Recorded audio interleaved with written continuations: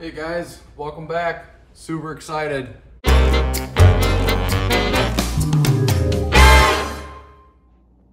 Welcome back. Pretty excited about this one. This one I'll be making some spinach dip and the outcome will actually be going to somebody. I occasionally will have requests to actually make this for individuals. So with this request, I decided to film it as well and you guys will get to see how I make the spinach dip. This will be a double batch, so just divide everything by half if you want to make a single batch. As you guys continue to watch my videos, you'll notice that I very much like garlic. So we're gonna start off with some garlic.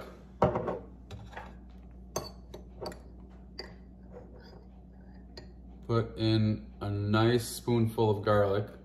Like I said, this is gonna be a double batch. We will be using two 16 ounce containers of Daisy sour cream.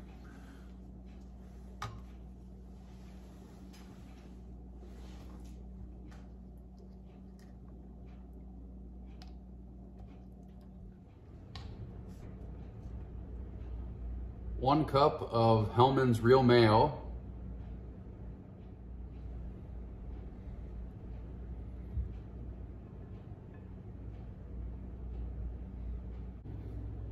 We'll be using two eight ounce cans of whole chestnuts.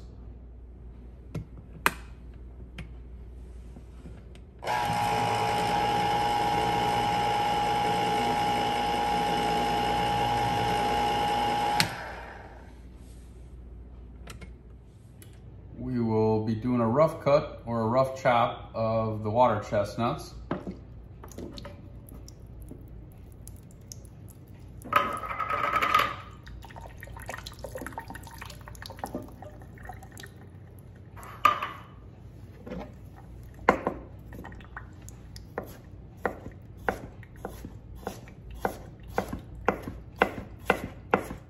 You're able to see the consistency of the rough chop. It is not uniform and the pieces are medium size. They're, they're not huge, but they're not real fine either. All right, adding the water chestnuts to the mix.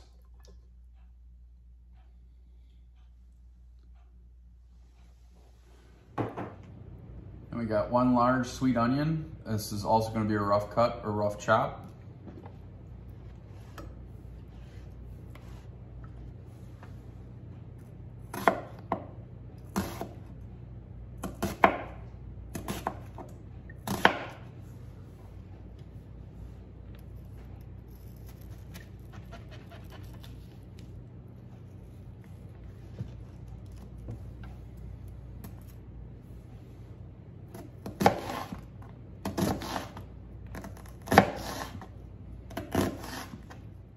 And the onions too will have the same consistency as the water chestnuts, about a, a medium rough cut, uh, approximately the same size.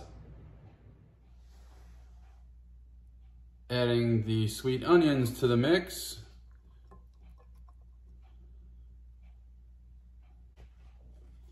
We'll be using two vegetable packets in this. As I mentioned, this is a double batch.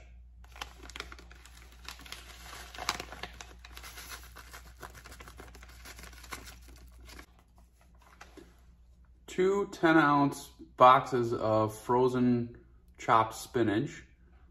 So we'll have to, we'll have to heat this up, of course. All right, now we have the spinach unpackaged. Uh, we just have to put it in the microwave, put it in the microwave for approximately seven minutes, and then we have to completely drain it. This will be the hardest task of the whole entire dip.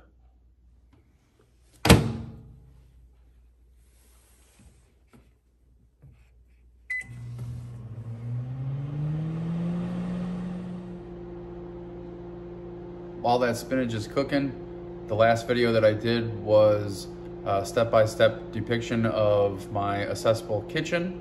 If you wanna take a, a gander at that video, by all means, I will leave the link in the description so you guys can view that easily or, or accessibly.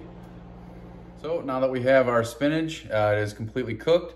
Uh, I did take a, a fork to it just to make sure that there was no frozen spots still. As I mentioned, this is the most difficult part in making the dip for me due to the fact that I don't have the greatest hand dexterity. But I want to warn you that, of course, the contents of the spinach is very hot. So what we're gonna do is we're going to put it in a strainer, we're gonna hit it with cold water, and then that way we're able to fully drain the spinach before we put it into the dip.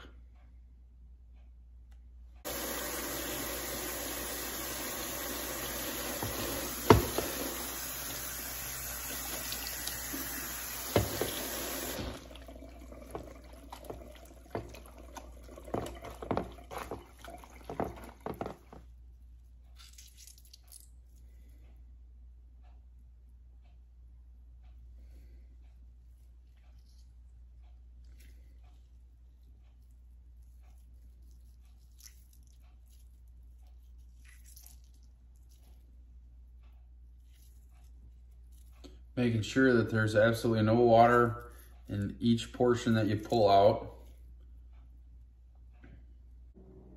All right, now the last step in the creation of this dip is just to stir really well. And one thing that I just wanted to add was one thing that's very important to the creation of this is I believe that you need to put this into or create this in a glass bowl. So you are, after, after we do finish stirring this up, we are going to put a piece of tinfoil over it and then of course put it in the refrigerator and you're going to need to leave it in the refrigerator for, I would say, approximately 12 hours at a minimum. Um, and then once you do serve it, make sure that you stir it up again prior to serving it. But the, the glass bowl aspect, I believe, is very important uh, as opposed to plastic. So good luck and hope you enjoy.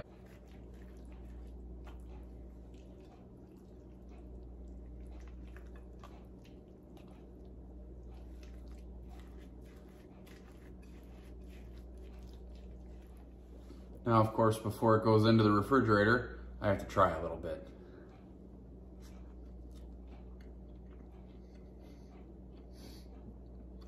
Awesome. Enjoy.